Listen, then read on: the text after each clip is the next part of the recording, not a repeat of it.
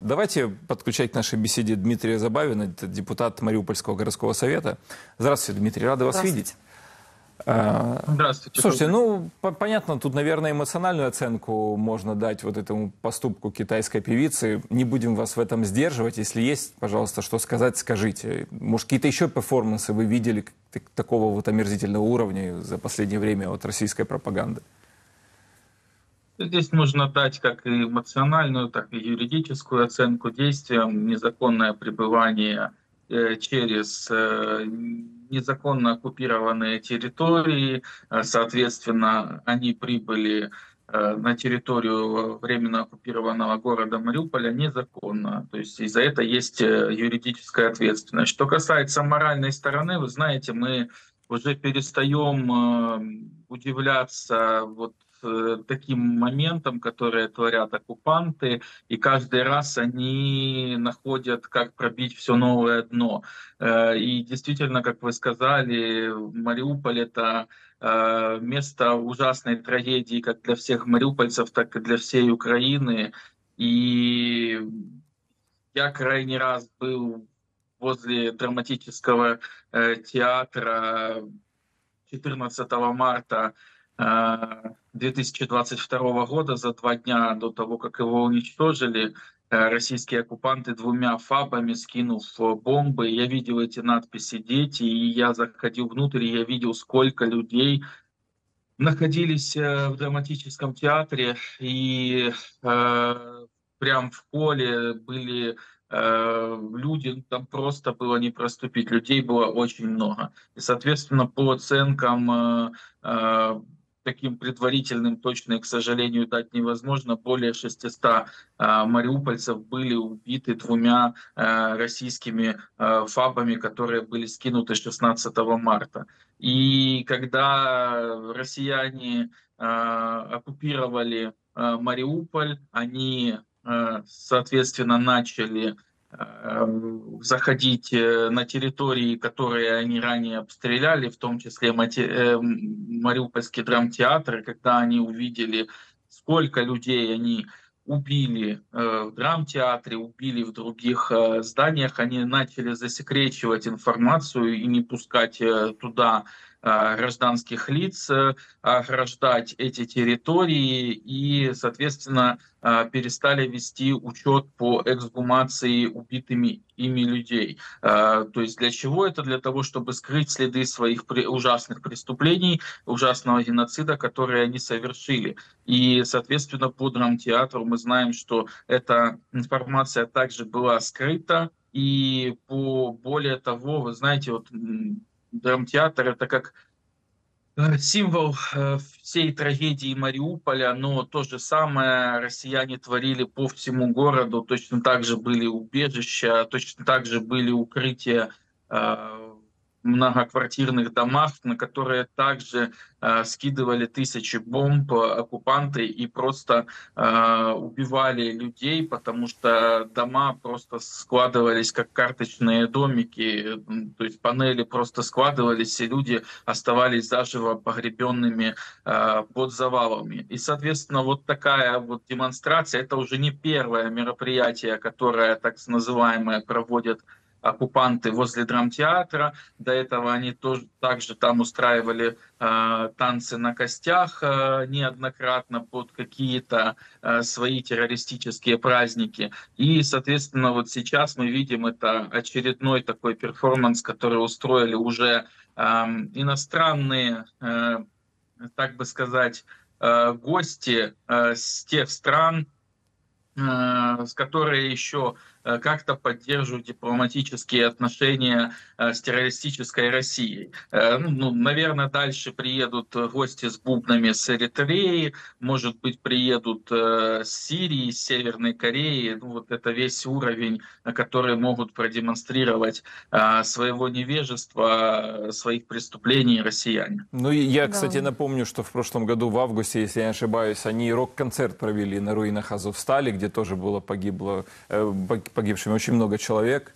Э, и, кстати, не только украинских защитников, но в том числе и россиян, если на то и пошло. То есть, ладно, если бы это осквернение памяти даже наших сил обороны, но они же как бы на трупах своих танцевали. Ну ладно, да. да. Тут важно отметить, что вот на это видео с этой китайской Ванна Фанна, которое опубликовал, кстати, Денис Пушилин, очень гордился этим своим... Сказал, что очень трогательно, ему, если его ему трогательно, да, ему трогательно. Так вот на это видео отреагировал спикер Министерства иностранных дел Украины Олег Никоненко, который назвал такое выступление, в кавычках, примером полной моральной деградации. Он также отметил, что по имеющейся информации в Мариуполь приехала также э, группа китайских блогеров. Об этом мы уже говорили в нашем эфире. Так вот этот приезд в МИД Украины называли незаконным, грубым нарушением законодательства Украины, которое регулирует пересечение государственной границы иностранца. И я думаю, что здесь в этом вопросе также должна быть э, жесткая реакция действительно МИДа. И, соответственно, я уверен, что известны все имена данных туристов э, и проработать по международной э, линии с нашими международными партнерами, партнерами по поводу того, чтобы запретить въезд вот этим гастролерам во многие страны, в которых у нас, с которыми у нас хорошие дипломатические отношения, для того, чтобы далее было неповадно. Дмитрий, расскажите, пожалуйста, как проходит так называемый день единого голосования сейчас э, в Мариуполе, который оккупанты попытались там в том числе имплементировать. Напомню, что э, 9, 10 и 11 сентября, если я не ошибаюсь, по российскому законодательству проходит. Понятное дело, что им нужно показать какую-то картинку. Ну, как у них происходит да. Э, вот эта вот инсинуация, которую называют выборами? Ну, действительно, это э, можно назвать э, каким-то сборищем каких-то людей, которые ходят и э, собирают какие-то бумажки. Э, вы действительно назвали единый день голосования, но, э, знаете, с учетом того, что они устраивают это с 31 августа и по 7 сентября у них было так называемое предварительное голосование, сейчас у них три дня Э, единого дня голосования. Ну, то есть это говорит о том, что э, даже под этот фарс они не могут собрать достаточное количество людей, чтобы показать картинку для внутреннего э, потребителя. То есть ту информацию, которую нам присылали мариупольцы с фотографиями, мы видим, что на этих так называемых импровизированных избирательных участках, которые они устроили возле магазинов, возле остановок общественного транспорта, возле стихийных рынков. Э, там немноголюдно, и там э, голосуют на этих участках одна бабушка, один дедушка, то есть и то это те случайные люди, которые шли на рынок из рынка, и их поймали так называемые члены избирательных комиссий, с которыми рядом стоят пару человек с автоматами. Естественно, что когда уже поймали, сложно отказать в том, чтобы не проголосовать.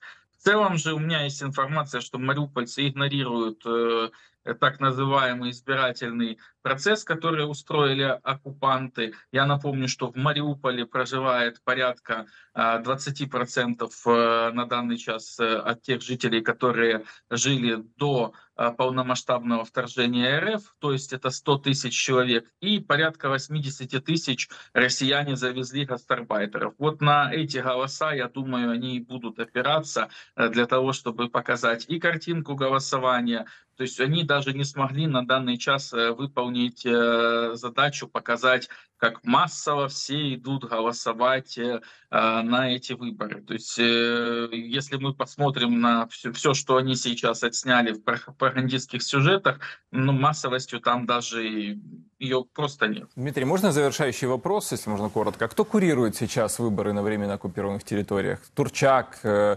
Кириенко? Кто, кто ответственен? Э, смотрите, э, по нашей информации, уже э, правоохранительными органами установлены те, кто отвечает за Э, выборы в целом э, в ДНР, и я так понимаю, что этим людям уже готовят э, подозру от правоохранительных органов. То, что касается в Мариуполе, в Мариуполе этот процесс курирует Гауляй Тармаргун, который является главой администрации, и, соответственно, его уже в принципе до результатов так называемых псевдовыборов его уже переназначили. Ну, то есть этот весь фарс, он просто является фарсом, а список тех, кого нужно было назначить, у них уже готов.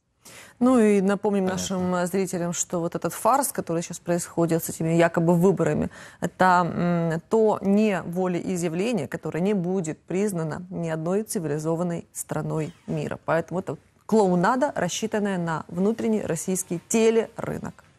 Спасибо огромное, Дмитрий, за участие в эфире. Дмитрий Забавин, депутат Мариупольского городского совета, был в эфире канала Freedom. Оперативные новости, эксклюзивные видео, аналитические обзоры. Freedom в Телеграм, только проверенная информация. Обязательно подпишитесь. Будьте в курсе всех событий. Ссылка на наш Телеграм в описании.